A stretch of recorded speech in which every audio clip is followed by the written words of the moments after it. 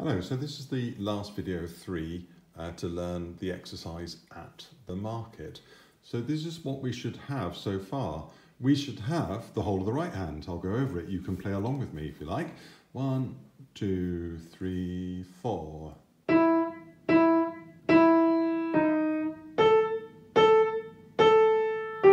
Then quietly.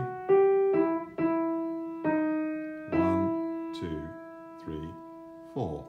Then in the second video, we added in just the first half of the left hand. So the left hand bit was a run up and a run down. So you start on the E and I had to remember to put the F sharp in because the key signature. So the left hand went.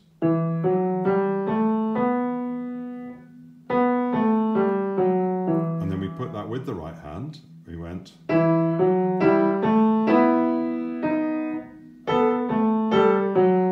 And then we just carried on to the end with just the right So you should be able to do all of that uh, this far. If you can't, don't worry, but you need to go back to the previous video if you're struggling with the left hand. And if you're struggling with the right hand at all, you just need to go back to the first video. Um, now, just looking at the final bit, got, we've got to bring the very final bit hands together. I'll play it to you.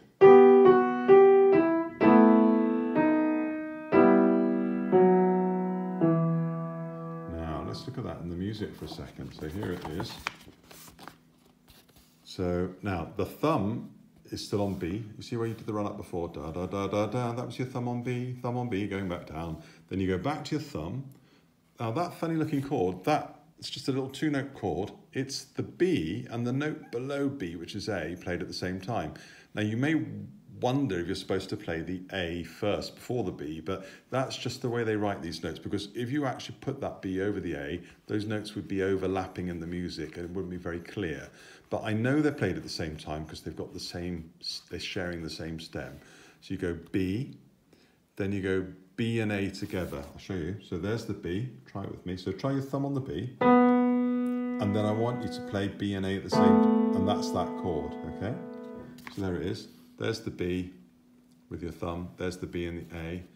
And then to finish off, we've got another B, which is a semi-breve, that's the long note that lasts for four. So that B is going to last for the whole bar and sits over the top. But under it is a G. So we've got a B with a G, and then that G will walk down like this. So that would be this. So first of all, we need to be able to do this, just to go thumb, then thumb and two, and then thumb and three. So try that with me. It's important to be able to do that. So you need your thumb. So thumb, one and two, and then one and three, like that. Now there's a little bit more. You're going to walk this bottom bit down. So the G changes to the F sharp, letting go of the G, and then the F sharp changes to the E, letting go of that, leaving us with what we call a fifth. One, two, three, four, five. So here we go again. So it's thumb, one and two, one and three, and then try and just walk this down like that, leaving the thumb on all the way. I'll do one more, it's fiddly. So it's your thumb, then it's the one and the two, then the one and three, and then basically these fingers are going for a little walk. It's going three, four, five. But that three, four, five needs to be happening at the same time as the thumb is held. So it goes one, three, So let's get back to what the right hand was doing. This was the second half where the right hand went ya da da da da da da. That was your third finger there, by the way.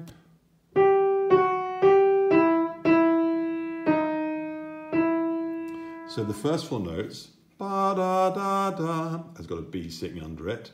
Then as you repeat that right hand E, you play the next chord, da, let that cross down.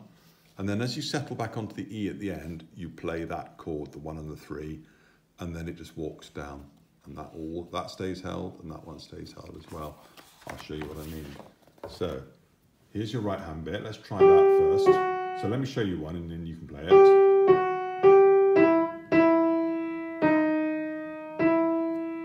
Now try that with me. So you got that. If I give you a three and a four, three, four,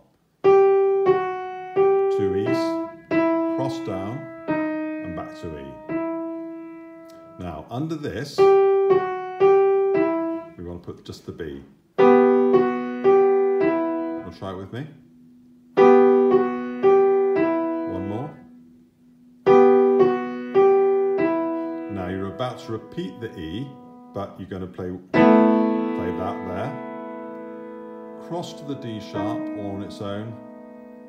And then you're going to go back to that E, and this is where you need the one and three here. So a new chord one and three, and then walk down. I'll show you again. I'm also going to try and lighten it up a bit now, because I'm doing that very loud, and it's supposed to be piano. So you've got your thumb there, got your three, so you do them together, you go. As you repeat the E, play the one and two, then that just happens while that's held. Then when you return to the E, new chord here. We try one together? Three, four. Restrike. Restrike.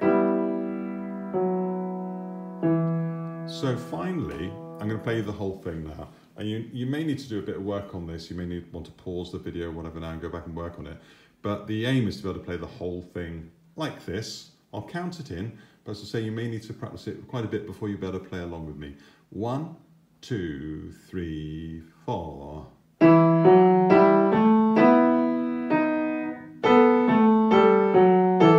suddenly quiet.